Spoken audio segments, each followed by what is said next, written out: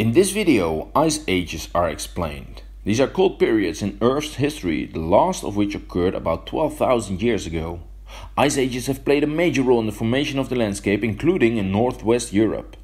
Let's start with the temperature change from the last 400,000 years to the present. The line shows the temperature compared to the current temperature. Much of this line is below the current average temperature. That means that during this period it was on average much cooler than today, up to about 8 degrees cooler. These cold periods within ice ages are called glacial periods. The warm periods are short periods of a predominantly cold period. Sometimes it was even a few degrees warmer than today. These warm periods are called interglacials. The second last ice age is called the Saale glaciation. The last ice age is called the Weichselian glaciation. Both periods have had a lot of influence on the formation of the landscape in northwest Europe. The Saale glaciation, the second last ice age, occurred about 238,000 years ago to 126,000 years ago. Because it was very cold, on average about 6 to 8 degrees cooler than today, ice caps formed in mountainous areas because it is colder there due to the altitude. Because this huge pack of snow and ice also reflected a lot of sunlight, it could remain cold on Earth. There was a lot of ice on the continent, so that the global sea level was tens of meters lower and shallow seas became dry, such as the North Sea. In Scandinavia too, more and more ice formed in the highlands, which did not melt due to the cold climate, but slowly moved to the rest of Europe and formed the landscape.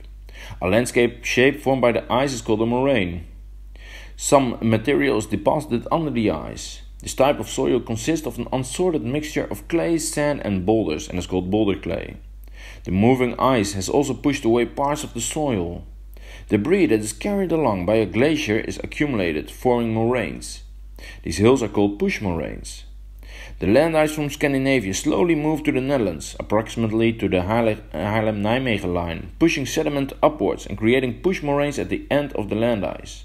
These push moraines are now known as the Utrecht Hill Ridge, the Veluwe, and Salland Hill Ridge National Park. Where the bottom was scraped away, a hollow is left behind by the ice mass. These deep parts are called tongue basins. Because they are formed by ice, they are also called glacial basins. There are a lot of tongue basins. When stones fall onto the surface of glaciers, they are carried along by the ice and they are called glacial erratics. When the ice melted, the stones remained in the landscape, as in the Drenthe region. Because the land ice spread to the Haarlem-Nijmegen line, there are no boulders south of that line.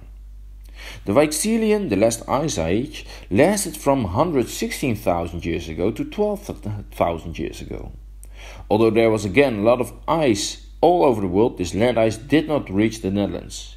However, it was on average much cooler in the Netherlands, so there was a tundra. Only sporadically did the average temperature rise above freezing, and the climate was generally arid. It was a polar desert.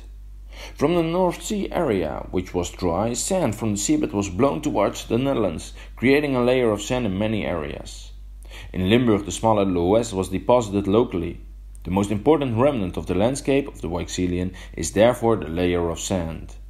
In short, the last two ice ages have had a major consequence for the landscape in northwest Europe.